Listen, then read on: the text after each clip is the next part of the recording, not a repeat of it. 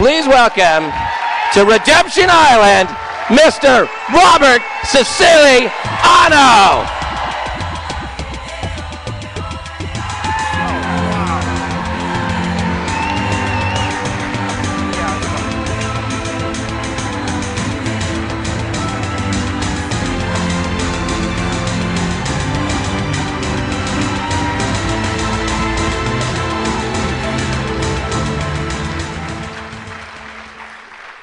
One truth still about Redemption Island you still only have five minutes. It's still a five minute clock. Could we get the five minute clock back on the screen?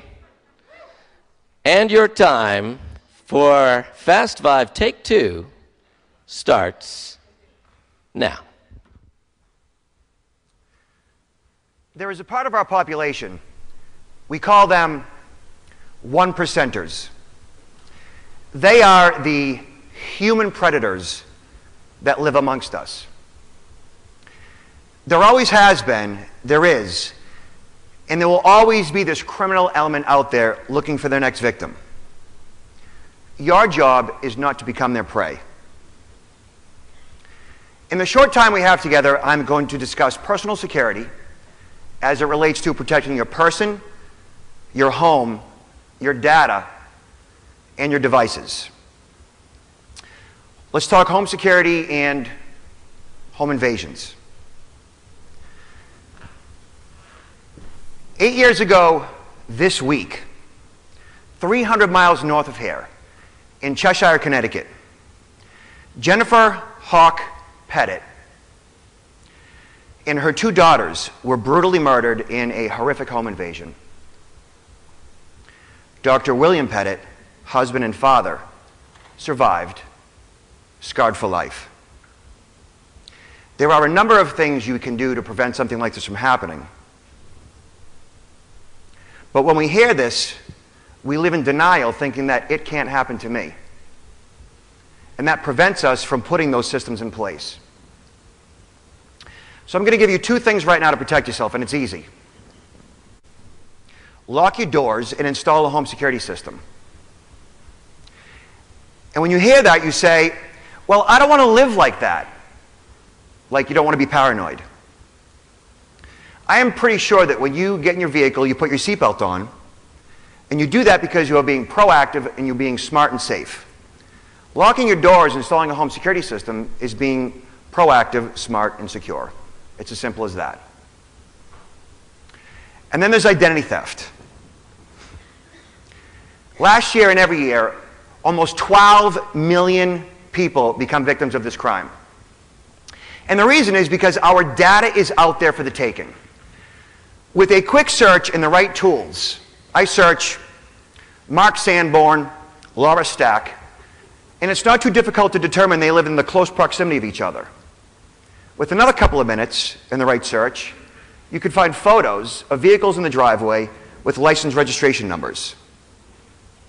With that information, you get name, address, phone, email, cell phone, birth date, and from there, potentially you can get social security numbers, even credit card numbers in some cases, and tax forms. With that information, a criminal hacker can then go and create new lines of credit, take over existing lines, and even tax identity theft. There are a number of things you can and do to protect yourself. I'll give you two. There's identity theft protection. You've seen these services listed on the, online and in TV, and they've matured quite a bit over the years.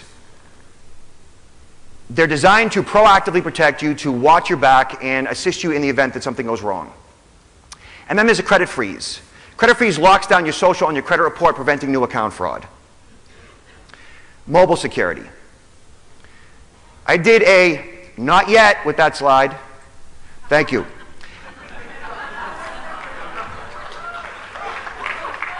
I did a study with one of my clients, McAfee Antivirus, not too long ago called Love, Romance, and Technology. Basically, we studied 18 to 75 year olds in their digital romantic lives. And unsurprisingly, we discovered that 18 to 24 year olds, they sexed a lot. You know what sexting is? It's sexy text messages, right? But you know what was kind of surprising to us?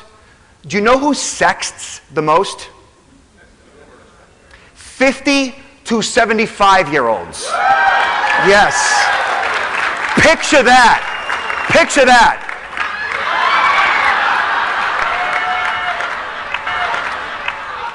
So there are two things you need to do to protect yourself. Password protect your device and make sure whoever you are sexting, they password protect their device. Simple as that.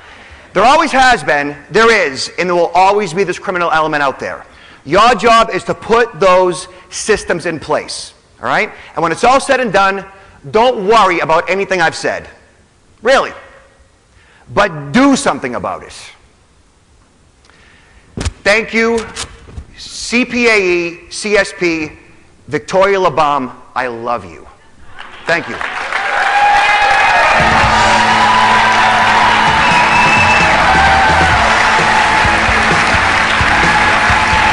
That's my shirt.